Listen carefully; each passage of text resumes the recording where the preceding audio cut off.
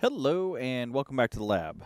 Today on the bench, following viewer comments on a previous video, we're taking a look at the again at this uh, 6024, specifically the meter. So we're you guys are actually joining me mid repair. I've pulled out the control board here again and got the meters free. These meters are a little funny because they actually mount to this board and they have this press fit um, bracket that holds the meter in.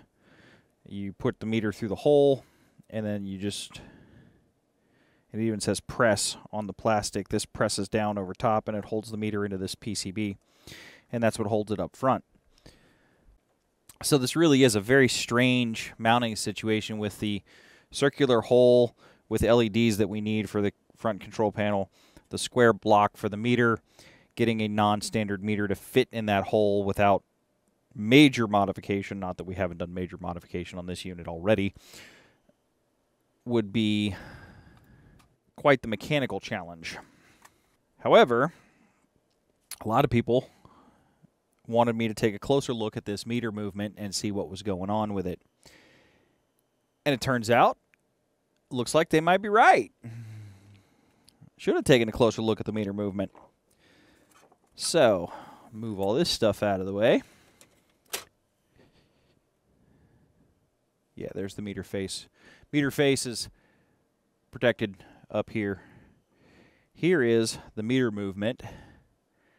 And we're going to zoom in on this thing. We have a 2200 microfarad 50 volt capacitor for reference. So we are quite zoomed in on this meter. This is incredibly small work.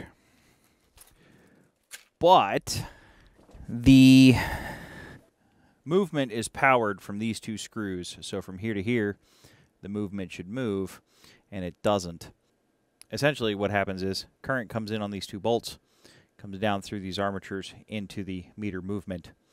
If I go from here to here, nothing happens, and we have no current. It's open circuit.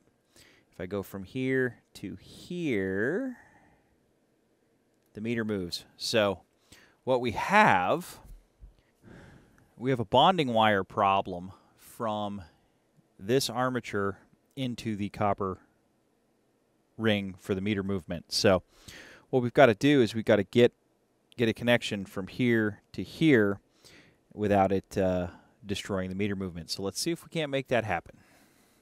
Well, fixing that was far, far easier than it could have been. So what I did, this armature right here is part of the meter's mechanical centering. And this unit needs to ride on this carriage to center the needle on the meter. Essentially, when the meter's off, we put this at zero with the screw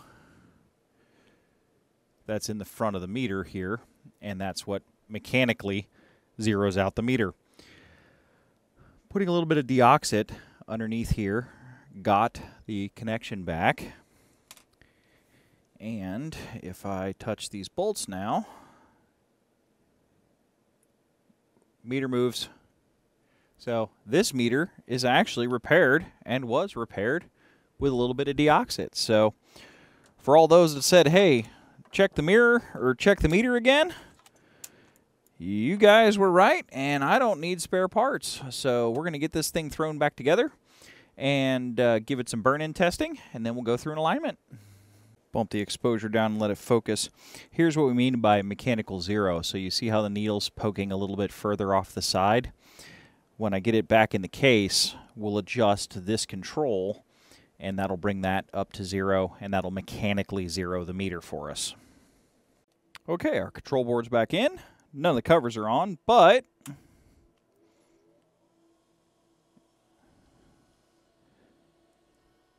we have voltage meter. So our meter's back up and running, which means I got to doodle up these pots up on top. Uh, these are going to be the calibration points and adjustments for this particular power supply. So we'll pull up some, we'll give it some, well, I will put the frames and stuff back on, put it all back together. Then we will check the service documentation, get it ready to go, and do an alignment on this particular unit, and it'll be ready for the bench. All right, so we're dumping 12 volts at 10 amps into my electronic load. Yes, those leads are a little light for 10 amps, but we're only doing 120 watts. And the power supply is sustaining 121 120 watt output. Uh, at 10 amps, if I put my hand on top of the box, I can feel the power transformer vibrating. Uh, it's buzzing quite a bit under the stress, but it's hanging in there. So everything's going really well. Just going to let this do some burn-in testing, then we may be done. So these uh, test leads are kind of warm after what we've been having this thing do. Uh, 12 volts at 10 amps, and we've been dumping 12 volts through 10 amps through these test leads for a couple of hours now into the load, and making a making a bit of heat, but it's cold outside, so it's just helping keep the place warm. To take a look at the load, uh, obviously the power supply is good. If we go into current limit mode, just turn this down, we'll see the voltage falls, and it agrees with the load. And we go into current limit, kick it back on, and we're back up. So everything is working with current limit. Voltage regulation is working as, a, as expected. Taking a look at the load, 12 volts out at 10 amps. And actually this doesn't need an alignment or a calibration. Those alignment points were actually bias supplies in there. So everything is reading correctly. The meter agrees with my DMM. The amp meter agrees with my load to four digits. So more than happy with that on an analog meter. So everything is good to go.